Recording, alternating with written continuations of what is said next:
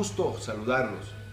Sin duda alguna, San Cristóbal de las Casas es una ciudad próspera, una ciudad con cerca de 250 mil habitantes, donde nuestra actividad primaria es el turismo. Me da muchísimo gusto compartir alegría con Guatemala.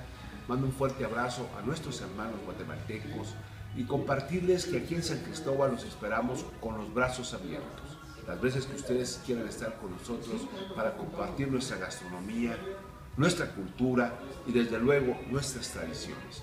Hermanos de Guatemala, reciban un fuerte abrazo de Marco Cancino, alcalde de Ciudad Próspera, Ciudad Feliz.